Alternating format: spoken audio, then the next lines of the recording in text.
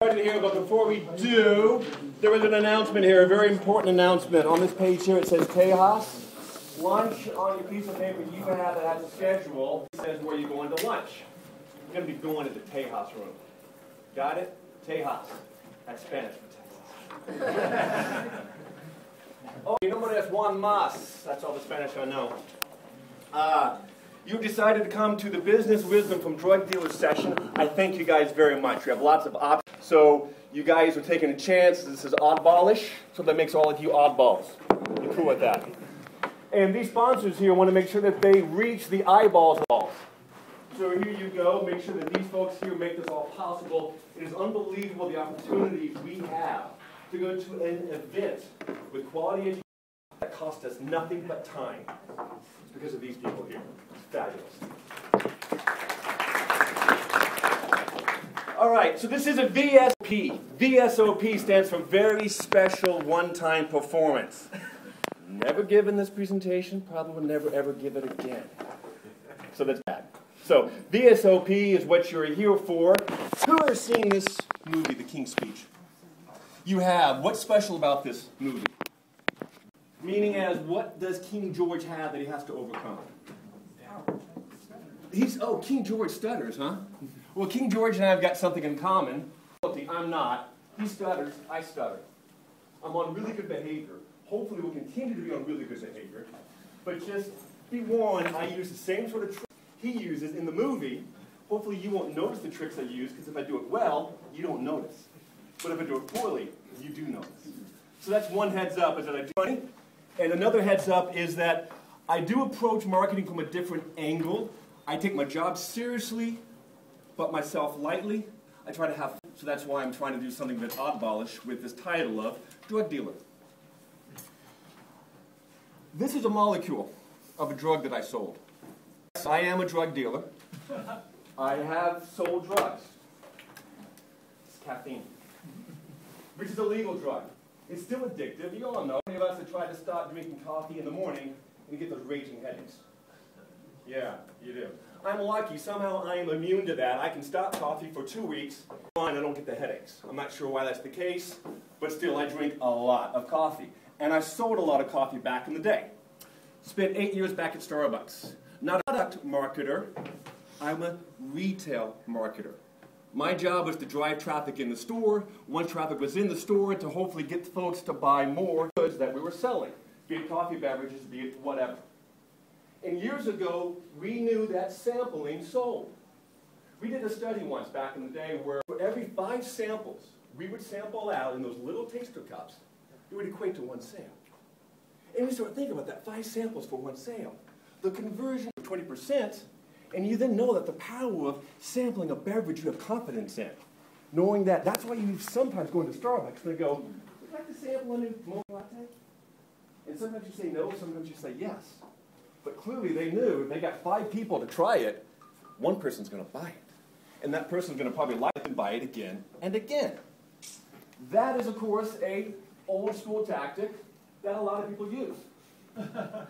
And back when I was wanting to learn more sampling, yes, I picked up this book back about 2000 called Dealing Crack.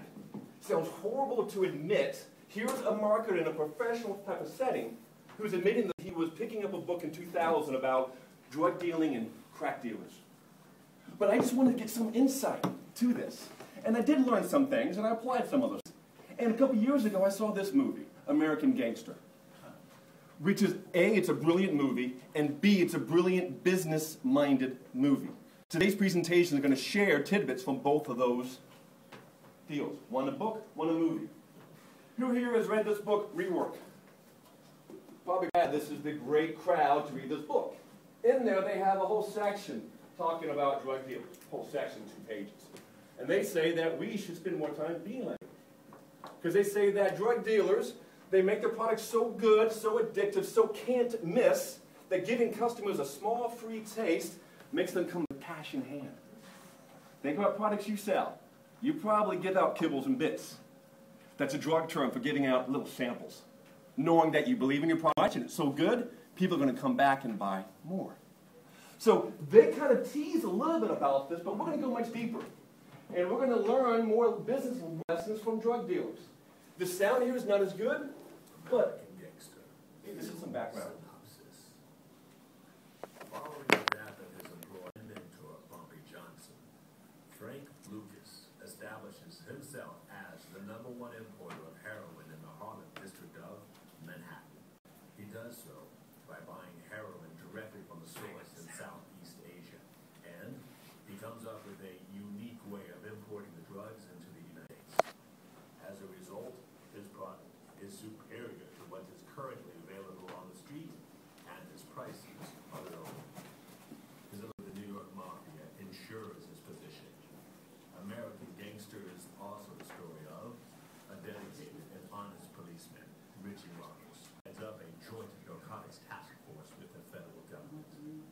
The film American Gangster is based on a true story. Okay, so we're on the sound here, so I do have a couple more, couple more typical bits coming up. But basically, this is just giving you background about the movie and the drug pin back in the 70s, Frank Lucas. And Mr. Lucas here had a mentor. Mentor mattered to Frank because he was able to learn the ins and outs of the drug business. His mentor was a guy by the name of Bumpy Johnson. Bumpy Johnson taught Frank everything he knew. For 15 years, Frank Johnson learned from Bumpy. Started off driving his car, and lo and behold, gained more responsibility as time went on. Frank Lucas praised his mentor by saying, Yes, he was my boss, my teacher. He taught me how to take my time. Taught me that if I was going to do something, to do it with care and with love. Every person here should have a mentor in your business because if you don't, then you are missing out on an opportunity to grow and to learn. I found that back in my day, I had a very mentor who happened to be my boss, Lisa Denny Compton. If Lisa Denny Compton didn't take the time to sit down with me on and keep weekly meetings, we all know we've had bosses where they find ways to say, project update meetings, I'm sorry, I'm too busy. Lisa would never skip those meetings. And I then passed people that I met with, would never skip an update meeting. Because that is a visible sign that you don't care about that person or that you're too busy. Mentors matter. But what also matters even more with inside a company is great to have a boss that's a mentor, but you also need a champion that's outside of your department. Because if you have an idea that you want to get sold in, back at Starbucks, I had a champion. Not in the marketing department, but in the operations department. Jim Morgan was my champion. Jim knew that if I had an idea, I had thought about the impact at the store level. You got baristas that are busy every single day doling out products and doing those daily duties. The last thing they want to have is a coupon at the main POS to pass out to customers because that interrupts their daily routine. However, if on a way to be able to get them that coupon to pass it out so it's more in their control and so they could weave it into their daily job, it would be able to get passed. Morgan was the champion who said, John, you thought this through, we will approve it. Because he was the one communication person, the linchpin, that if Jim didn't champion, I didn't hit the stores.